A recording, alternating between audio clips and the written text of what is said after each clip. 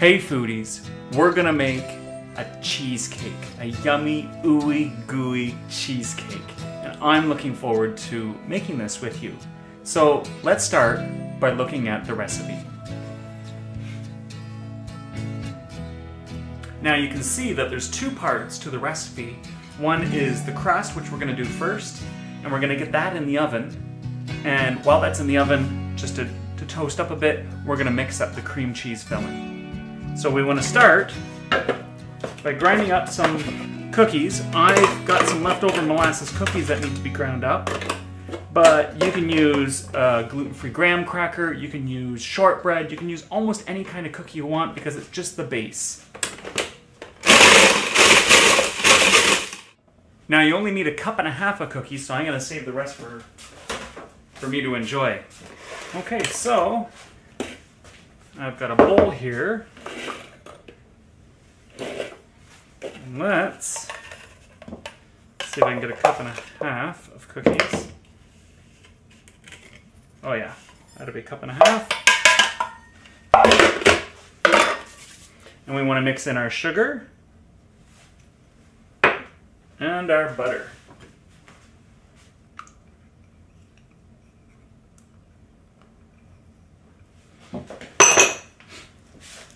That looks good already.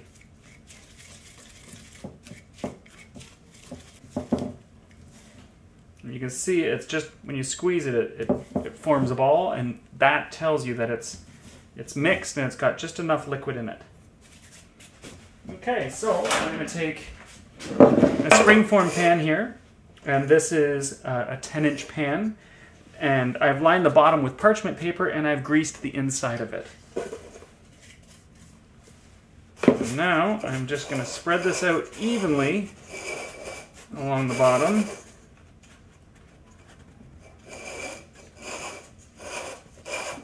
And I'm going to lightly tap down the whole thing and slowly press it down harder and harder and harder. And the reason why you start lightly at the beginning is just that you're not spreading the, the cookie crumb out. Okay, so that's going to go in the oven for 10 minutes at 325 degrees.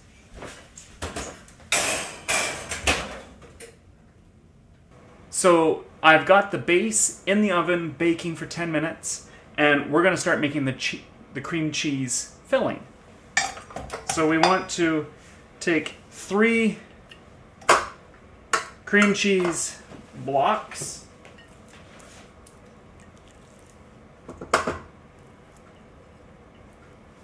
There we go. And I'm going to beat these with the sugar. And the yogurt. And I'm using yogurt instead of sour cream because I want it just, just a tiny bit healthier.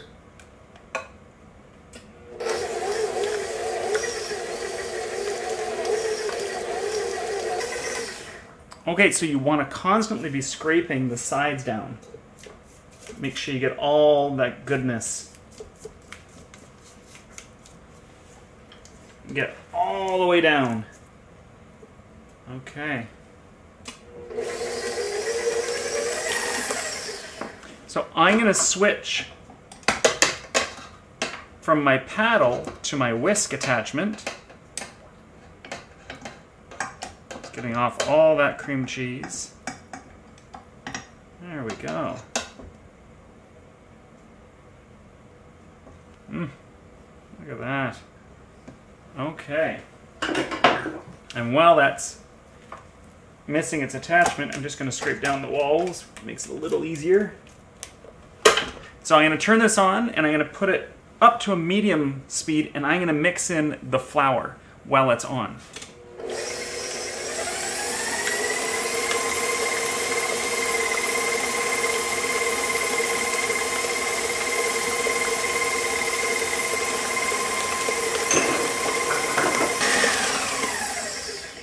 So now I'm going to crack in one egg.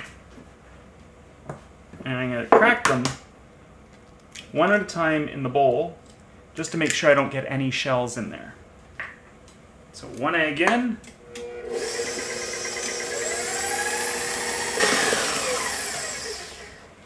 And I'm going to scrape the walls in between each time I add my egg.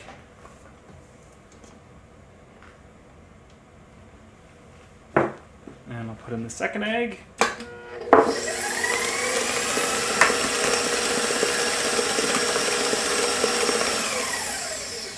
And now the third egg. Each time I'm whisking this up, I'm whisking it for, I'm to say 60 to 90 seconds for each egg that goes in.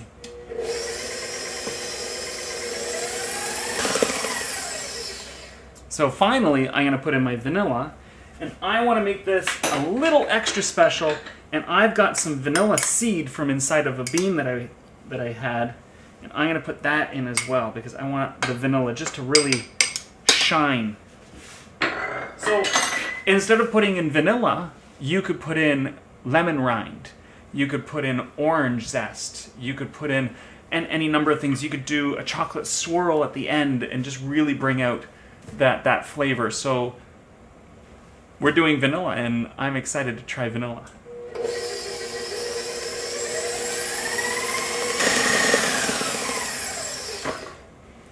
So that cream cheese filling is ready. And it looks wonderful. So I'm just going to... I don't know if you'll be able to see on camera or not, but you can see little black flecks all through it. And that's the vanilla bean. And so the flavor is just going to be magnificent. Like it, it smells really good so far. And I think with that molasses cookie, it's just going to be a really nice combination of flavors. So I'm going to set that aside until my uh, cookie crumb is ready. Okay, so the cheesecake filling looks amazing. I've got my base, my cookie crumb base, and it's cooled. Now I'm going to pour this all into the pan. Look at that. Mmm. Mmm. Oh, the little flecks of vanilla are just so pretty to look at.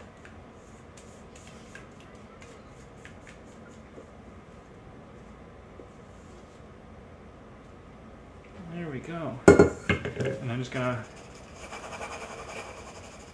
get that to settle a little bit. So I'm gonna put this on top of another cookie sheet just in case there's any spillage and it helps me lift things out a little easier. And this is going into the oven at 275 for 50 to 55 minutes or until the center is just a little jiggly but the outside edge is perfect. And then I'm going to shut the oven off and just let it cool until it's cool.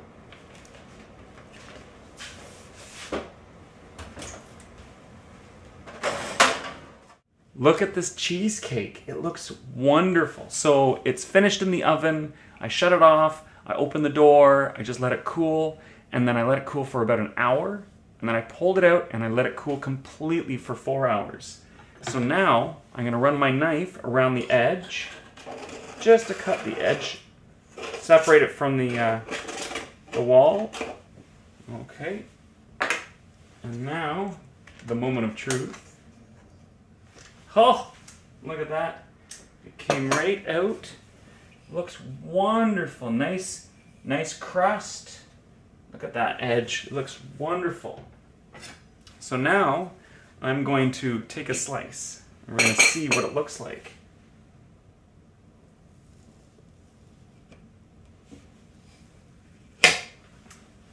So every time you take a slice, you want to wipe it off with a clean cloth so that you don't get anything built up on it. There we go.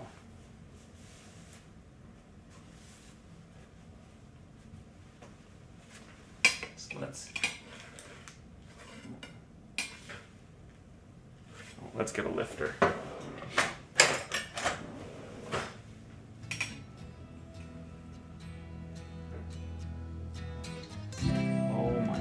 Goodness, that looks wonderful. Oh. It's just beautiful. and it smells really nice too. Now, if you want to have something on top of it, you can. If you don't, that's fine too. You can do a little chocolate drizzle on top. You can also do what I'm going to do today and put a little bit of uh, berry compote or a preserve or jam, and I'm putting a elderberry conserve on top. Spoon of this drizzle it on top. Oh, that looks absolutely delightful. I mean, it looks wonderful. So let's take a bite.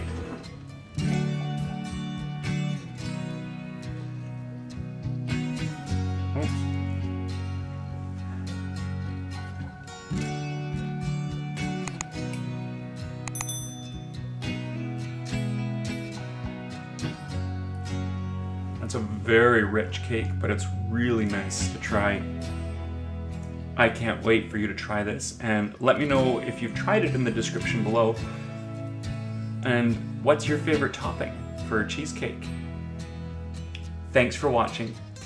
I look forward to seeing you again soon.